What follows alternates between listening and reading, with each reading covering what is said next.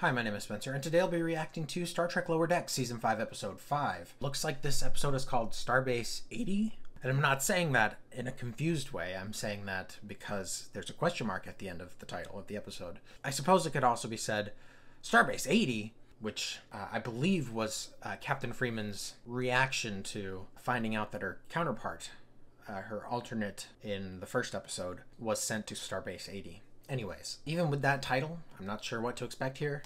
Um, I think maybe this is the episode with the decon gel. Hopefully, this isn't the episode with Harry Kim. I wouldn't want to see him at Starbase 80. But yeah, I mean, I, I don't know what to expect. But before I get into this episode, don't forget to like this video if you like it. And if you have anything to say about this episode or the previous episodes, please put it in the comments. Also, if you're not currently subscribed but you like this kind of content, I would appreciate it if you would consider subscribing. It really helps me to stay motivated to get these videos out and helps the channel to grow, so thank you. I believe that's all I have to say before getting into this episode, so I think I'll go ahead and do that. I'm pooped. Working on ocean planets really takes it out of you.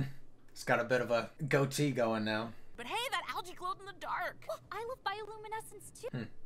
I like that she's excited for things now. Wow, I sound like a real Boimler right now. Yeah, uh, cool True. as hell. yeah, totally. Computer, shut. That's not good. Please don't please don't kill them. I'm hosting their first annual scatting battle. Well, we are.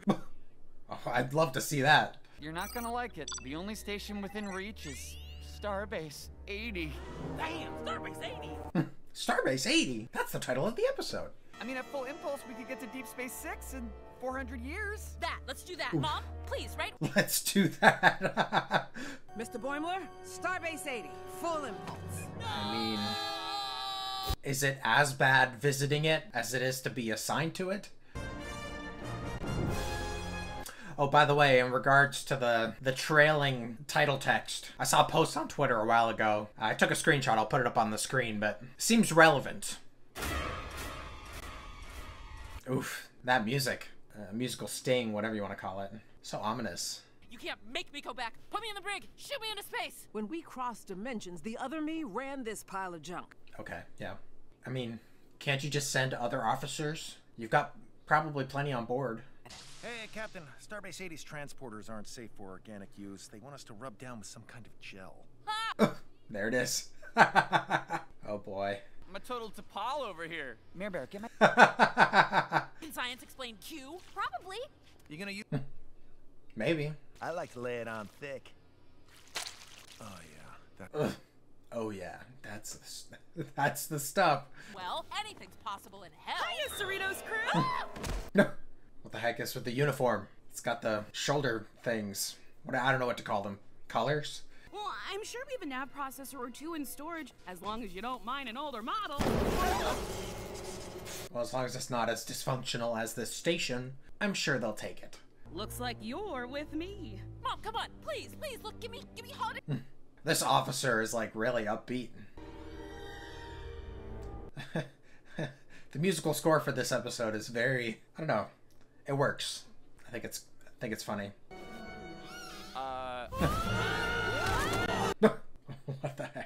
That's funny. Wall cops? The base hasn't experienced many upgrades since the 2260s. That's why it's so retro cool. see, man. That is pretty cool. I'm not gonna lie. Corn dog vendor. What? Okay. what? They have food vendors all over the base instead of replicators. Oh, okay. That makes sense. Rutherford to Commander Billups. SB-80's got some What's going on with Billups? ah, static. Yep, this place is. Okay. Guess the breakfast burrito didn't sit well. Looks like I'm on my own. Well, Hmm. Spooky. Huh? What the hell? What? I don't understand what's happening here. The signatures stink. Mmm, all I smell is gel. Pfft, of course he brought some with him. Patty, You all must be from the Ritos, aren't you? Sorry, dozed off there. That voice sounds familiar. I've definitely heard it from somewhere. I, I can definitely place the actor, but I don't remember remember his name. Probably in the arcade. Y'all have fun. Mm. okay. I'm I'm curious as to like what the arcade would look like. Okay. Some kind of promenade here. Food court. No No, that's cursed sauce. Don't touch that. What? I eat those every day. They're Why is he already? He's he's acting drowsy like the zombies already. Applicators. They're the uniforms of long dead men. What? Vintage. Oof. Rutherford, how about you take that pile on the left? I I don't understand what's going on. Rutherford's cursed. He's got the 80. There's gotta be a rational, scientific explanation. Well, better start scanning. Oof. Looks like a bunch of the Cerritos crew are cursed, zombified. I don't know what to call them. Did you use these as an ensign? I am not that old. Oh, well, I think we. I said arcade. Maintenance labyrinth confirmed. what? This is definitely not the arcade. Arcade. Back here! that sucks. I don't know what's going on here. But why is it only your crew? Huh, that's weird. While your crew's affected, none of us locals are. Yeah. Let's get you to that arcade. Hmm. Stairs. the perfect workout. Yeah, 30 stories and you'll hit the arcade. 30 stories. Oh, oh, yeah. Tendi, Rutherford keeps trying to lick the walls. Can you help, please? Okay, well, that sucks. Ensigns Mackler and Gorm, I need your help at my location now. Oh, they're using the replicators. That's what's happening. She used it for t- with uh, Dr. Ta'ana. He used it with Billups, and that's how it's contagious. So Boimler's next. That a lot. He's British. Does he have one? How did you know? I was told it was hardly noticeable. Yeah, it was. His voice kind of sounds familiar. All right, this. I'm calling for evac. Stop! Give me that com badge. You'll get it too. Hey! Okay, so she knows. Knew you were up to something. What? Okay, well, if she knows, then. Or unless she just figured it out like I did. I'm El-Aurian. I think I know how to fight. Wait, like Guinan? What's a, Oh. No, I'm in my 30s, but I pay attention. a young Valorian is just a regular person. I'm trying It's just a regular person. We use old wall comms. That has to be it. Boimler just contacted his ensigns, and he's fine. Well, Oh, not so much. but that means the curse is from the Cerritos? Okay, I guess that's a conclusion you could come to. I don't understand, but I'm sure my questions will be answered. We are going to the arcade. Oh, awesome. It's right over there. Hmm. Here's some extra tokens on the house. What? Okay. Ferengi's fortune. Gene? Oh, How did he get up here? where's Lieutenant Jakubowski? Maybe this Ah, is. Calm yeah. down, lady. That is Jakubowski. Yeah. Starfleet lying to Starfleet? That is messed up, Gene. Outrageous. Starbase 80s for second chances. That's why I love it. What the? Well, you won't have many second chances if you uh if you die. With the help of two of my biggest weirdos. And who who are they? Oh, like the doctor and okay. I don't know about this other guy. Oh, this is the hot dog, the corn dog guy, right? Oh, thank God. Self-destruct sequence activated. What the hell is happening on this ship? Are they like hitting the the button? Self, self, Yeah. Livick. Livick. I'm glad that joke has continued. Looks like this is a job for Chad. Corn dogs, hey! What? Chad, no!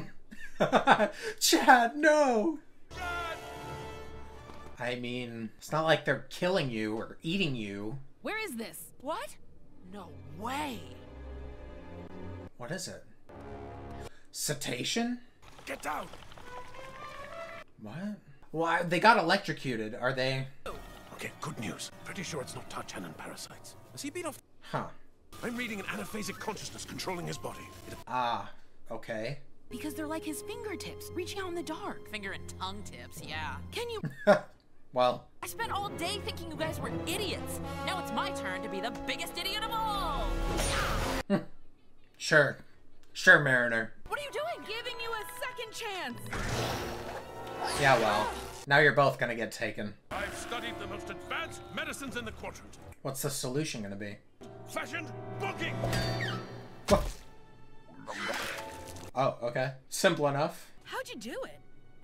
Um, uh, Complicated doctor stuff. Okay. Chad lives to dog another day. Yeah, you know, you go, corn dog guy. My designation is Clem. I am sorry for the trouble I. Clem. I hope my bosses see it that way. They can be real dicks. That's not something I was expecting from him. We aren't done yet. We aren't?